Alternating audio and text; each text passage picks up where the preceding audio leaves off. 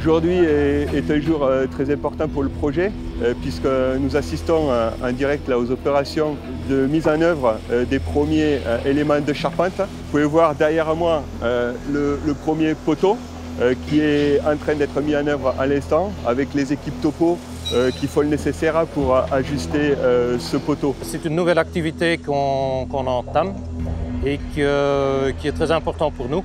La charpente va en fait faire l'ossature de, de, la tour sur laquelle par après on vient installer euh, les façades qui normalement démarreront quelque part en mai-juin. Donc on voit bien déjà maintenant la cadence des différentes activités qui vont continuer à s'enchaîner de la même façon dans les mois à venir.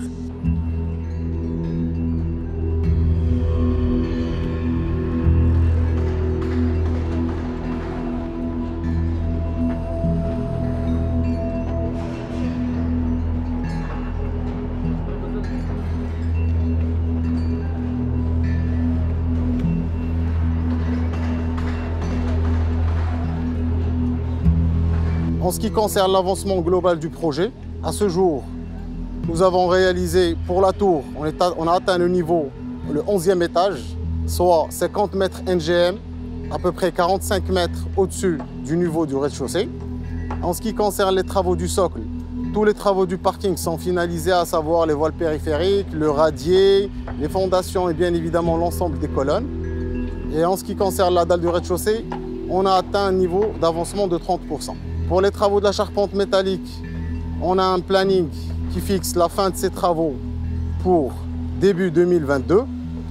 Et en parallèle, il y aura les travaux de la façade qui doivent démarrer pour venir constituer le clos couvert. We are from Wagana Construction, subsidiary company of Eversandai Corporation is based, which is based in Malaysia. And uh, we are here as a subcontractor work under B6 TGCC.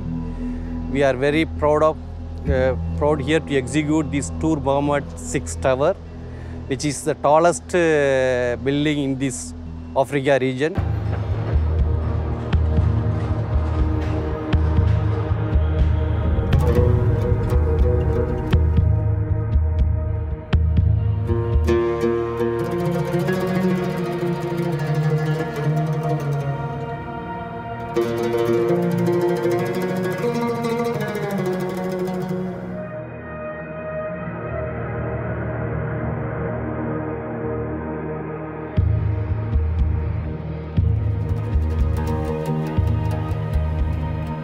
La structure de la tour est constituée d'un noyau en béton qui est réalisé jusqu'à l'étage R 15, le reste étant en éléments métalliques. Cette charpente métallique constitue la structure qui porte les différents planchers de la tour, ainsi que des poteaux qui, en façade qui supportent ces planchers et la future façade qui sera installée. Le noyau quant à lui, accueille l'ensemble des euh, ascenseurs qui vont euh, desservir les différents étages de cette tour, ainsi que les escaliers d'évacuation qui respectent un certain nombre de réglementations liées à la sécurité incendie.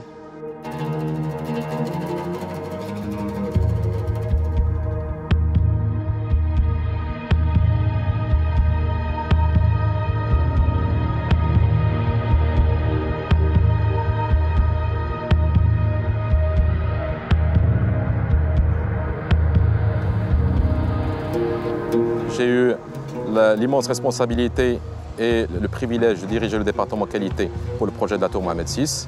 Notre département il est en charge d'assurer et de maintenir un niveau de qualité très élevé à la hauteur et à la grandeur du projet. Ce projet, la Tour Mohamed VI, c'est un projet qui est très contraignant en matière de technologie et de technicité, aussi bien qu'organisationnelle. Nous avons ainsi mis en place un système de management et de maîtrise de la qualité adapté au niveau et à la grandeur de la tour.